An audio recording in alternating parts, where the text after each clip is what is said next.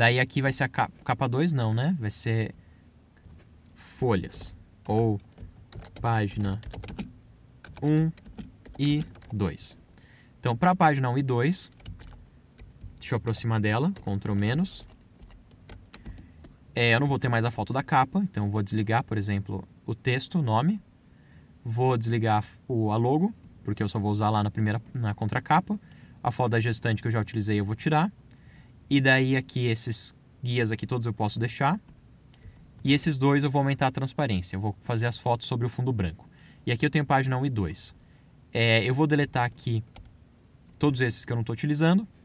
E daí aqui nas guias eu preciso criar uma outra linha aqui nessa direção. Então eu vou apertar Ctrl T, vou trazer aqui a ferramenta de linha.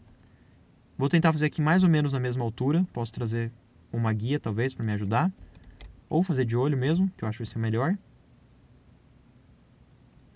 E eu arrasto segurando aqui o Shift. Beleza. Vou fazer aqui bem do ladinho. Agora eu vou fazer o mesmo aqui embaixo. Ou vou selecionar esses dois que eu já fiz em cima.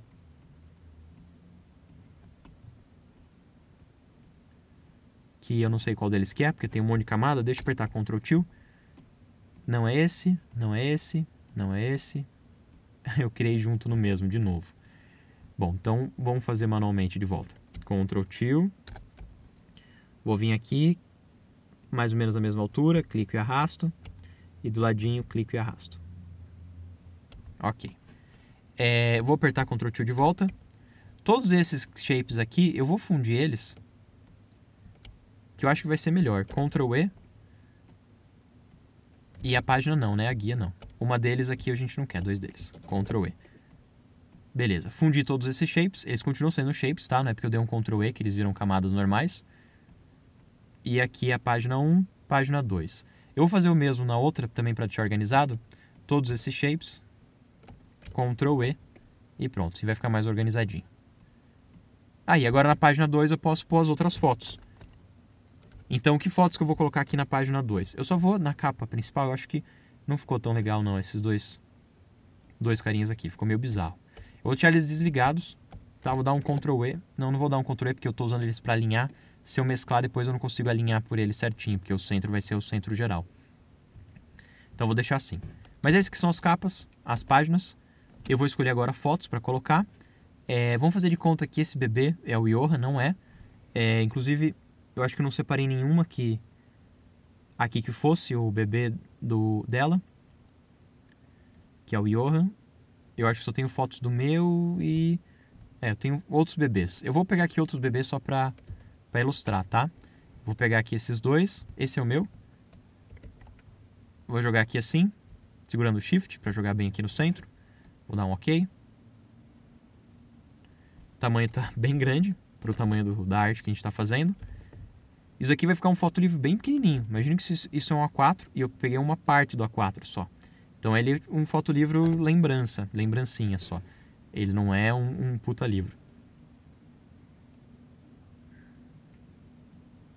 Eu usei A4, mas poderiam usar um A2, um A3, o tamanho que fosse conveniente para vocês, tá? Aqui eu mais estou ilustrando o passo a passo do que me preocupando aqui em ter é, o tamanho mais legal possível. E é porque eu nem estou fazendo de verdade. Eu vou tentar aqui alinhar eles. Vou dar uma aproximada. O tamanho não deu exatamente o mesmo. E eu sou bem chato com isso. Eu, eu prefiro que fique bem certinho. É, eu vou tentar trazer uma guia para cá. E Ctrl T para eu ver a guia. E daí eu vou usar aqui o Shift até trazer na direção da guia. Deixa eu ver o outro lado. Trazer uma guia para cá também. É, ele não está alinhado certinho ainda não. Vou dar aqui um Shift para dimensionar de novo. Vou trazer aqui bem no centro.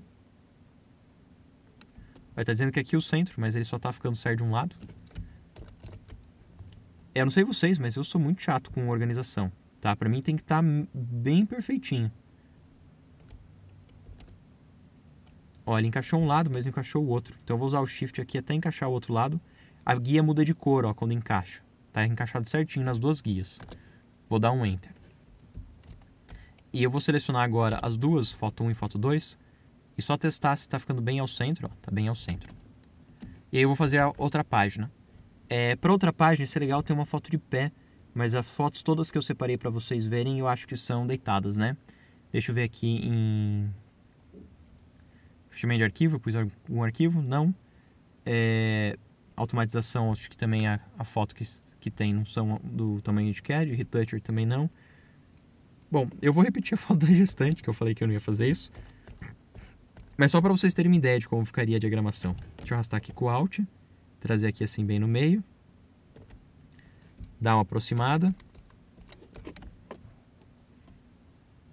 É, parece que está certinho no meio. Na dúvida, eu posso selecionar os dois objetos. Selecionar esse e esse. Daí eu vou na ferramenta de mover e eu mando ajustar aqui ao centro e ao centro. Agora eu tenho certeza que está bem no meio. Bom, então eu fiz aqui página 1, página 2 e capa. E daí eu poderia continuar fazendo isso quantas vezes eu quisesse, até eu construir ali todas as páginas do meu álbum. É, seguindo lá agora, a gente vai ver como é que é a exportação de novo.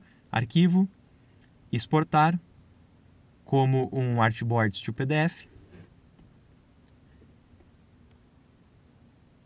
E está dizendo para salvar antes, deixa eu dar um Ctrl Shift S, salvar no meu desktop de novo como temporário, só para eu ter salvo. E aí agora arquivo, exportar, exportar artboards to PDF. Eu não quero nenhuma dessas opções. Aqui no browser eu vou vir no desktop e vou chamar aqui de gestante. Vou clicar em salvar e vou clicar aqui em run. Vou dar um OK. E daí eu vou acessar lá o meu meu arquivo, opções artboards Opa, não é esse não. É gestante. E está aqui criado página 1, página 2. Quer dizer, capa, né? E página 1. Tá ao contrário aqui a ordem. Ele ficou ao contrário, tá? Porque embora eu tenha dado os nomes do jeito que eu quero, eu não pus na ordem certa. A gente consegue ver que a capa é o 2 e a página 1 e 2 é a 1. Aqui é só inverter e daí na hora que eu exportasse teria ficado na ordem certa. É, eu não fiquei super feliz, eu teria deixado aqui um espaço menor entre eles, provavelmente na mesma altura que esse, eu sou bem chato com diagramação, mas deu para sacar bem a ideia, né?